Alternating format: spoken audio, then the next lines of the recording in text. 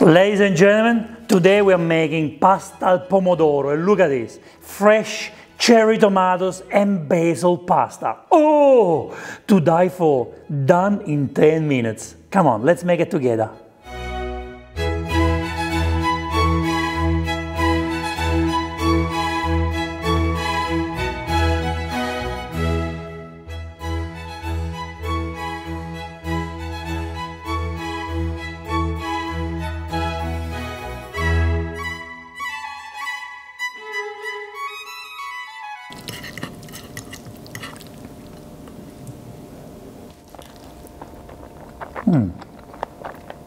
Mm.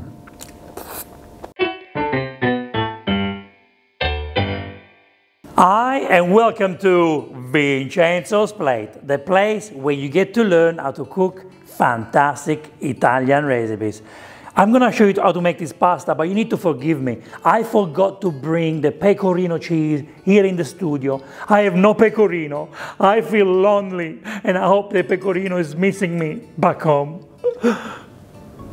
Yay! Come on! How do we make pasta al pomodoro? We need 300 grams of spaghetti. I've used spaghettone quadrato, a nice, beautiful, square, thick spaghetti. You do need something that absorbs the sauce. We need 400 grams of beautiful, fresh cherry tomatoes. If you can't get cherry tomatoes for any reason or you don't want to use them, you can use peeled tomatoes. You can buy a can of peeled San Marzano tomato, crush it with your hands and use that instead of cherry tomatoes. Basil, fresh basil. If it's from your garden, it's best. Two cloves of garlic, extra virgin olive oil, salt and pepper, and sea salt for the pasta water.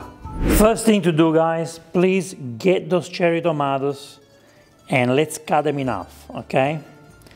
Cherry tomatoes. We want to get the juice out of the tomatoes, which is going to turn into sauce for our pasta, okay? So you do need to cut the tomatoes enough, just like that. Just cut enough. Oh, look how beautiful and juicy they are. Look at this baby over here, look at that. Full of juice. Mmm. See, I never buy fruit and veg for the supermarket. I always buy fruit and veg fresh from the market if I can or from the grocery store that I trust. Okay, how do we start? Of course, we start with the extra virgin olive oil. Put about, let's say, four tablespoons of extra virgin olive oil. Beautiful, beautiful extra virgin. You got two options here. You can do this to your garlic and just put it in there so you release all the flavors in the oil. Or you can do what I do. I basically like to crush my garlic because I like the flavors of crushed garlic in my sauce. Basically one garlic per person, like if I make pasta aglio olio.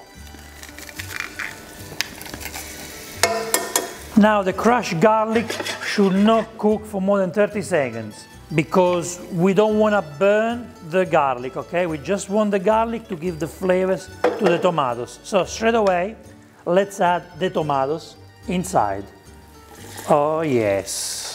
Oh yes. Look how juicy these cherry tomatoes are. Look how wonderful. Let's put a nice generous amount of salt and pepper. And here we go. Oh, yum. Now we do want to wait for the juice to come out, okay? So cook it on a medium low heat, okay?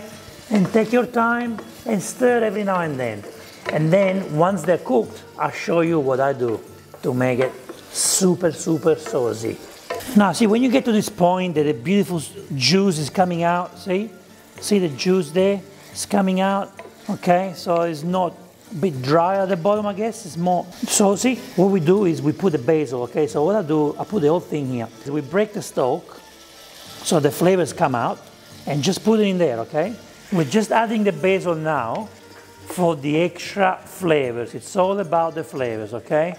Guys, once you put the basil in there, oh, the perfumes come out. And let me tell you, Chanel number five has nothing on this. Nothing. This is so much better. Guys, after a few minutes, you will see the tomatoes are getting softer. And what you can do to help so the juice come out, you press on them. So help them so they don't suffer too much, okay? You press and all the juice come out. Look, if you can get them. Here, see? Here we go. Boom, boom. Oh, yum. The tomato skin plays an important role because it's going to help you to make this pasta a little bit creamier. So make sure you're kind to the skin.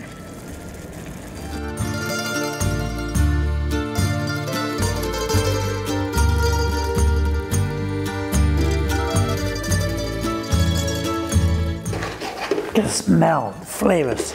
In 10 minutes, we're gonna have a beautiful, fantastic sauce.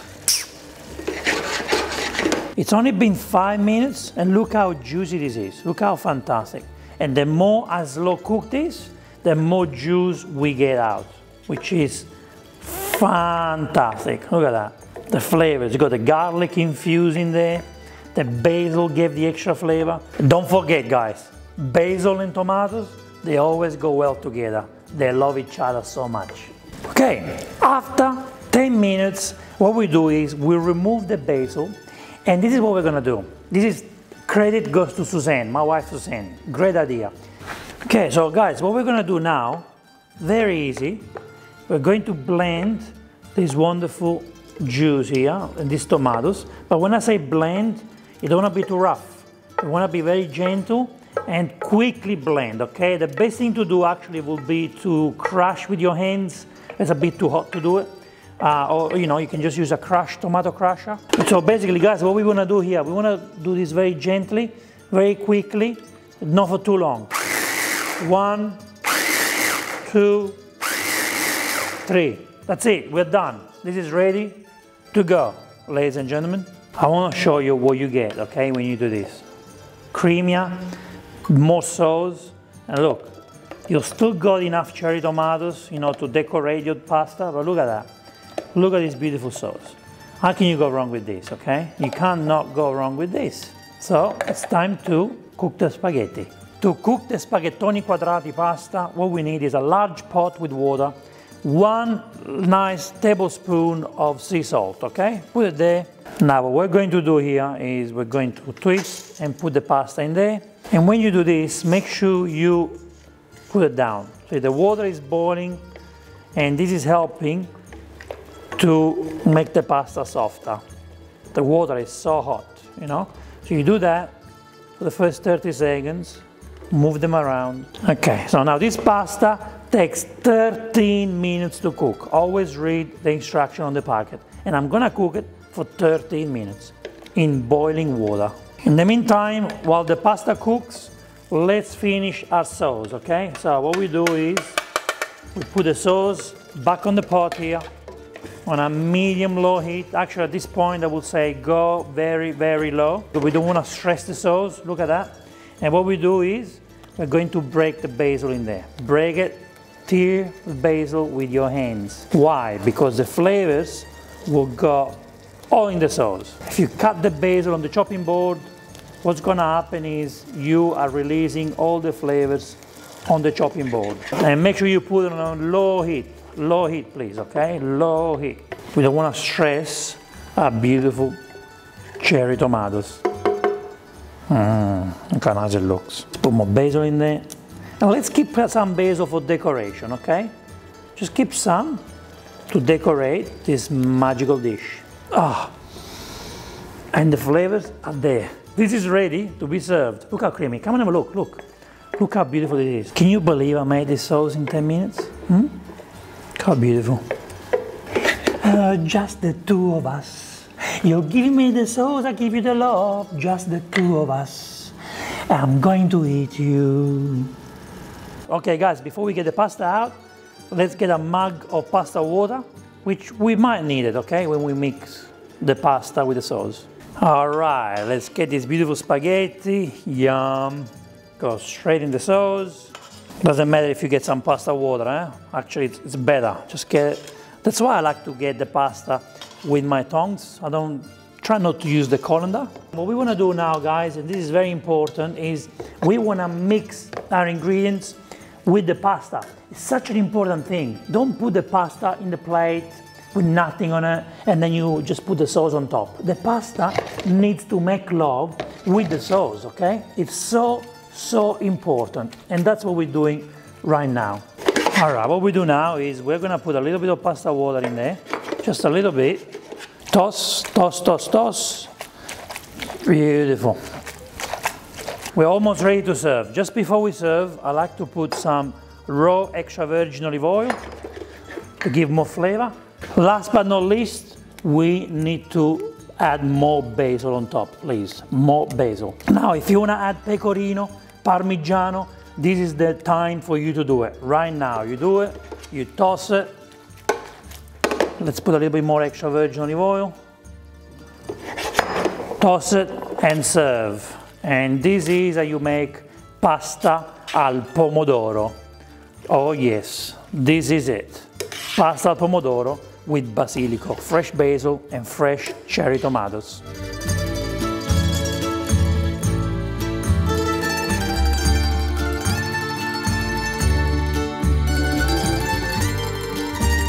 It's important guys for us now to plate this wonderful plate of spaghetti. Ah, look how important it is to combine all the ingredients together. Huh? You can't miss the most important step in any pasta recipe. You do have to combine all the ingredients. It is a must. If you don't do it, just remember I'm watching you. I'm in your kitchen, always watching you. Let's put some sauce on top and sprinkle basil everywhere. And you can add pecorino and parmigiano if you love it. Now the final touch, let's sprinkle some nice basil all over. And we can also put a little bit of basil here. And here is how you make pasta al pomodoro.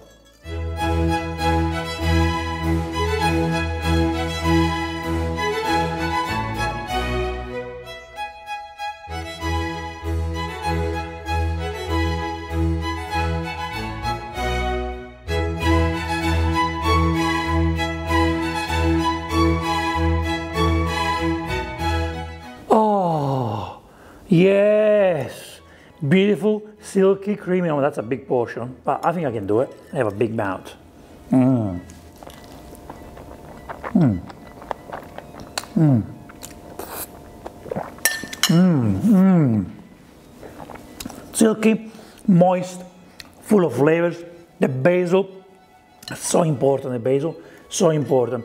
And I do like the skin of the tomatoes. You know, it's very nice in there, see? There Oh, come on, guys. Come into my belly. Come on. Come on. Mmm. Mmm. Mmm. Mmm. Mmm. Beautiful. Beautiful sauce. I can't believe it. It takes 10 minutes to do this. 10 minutes. Anyone can do it. No excuses. You go and make it right now. This is so delicious. So delicious. Mmm. Mmm. Mmm. Just the two of us. Eating pasta, making love. Just the two of us. You and I. That's how I feel. Guys, thank you so much for watching this episode. I will see you in the next Vincenzo's Plate video recipe. e ora si mangia. Vincenzo's Plate.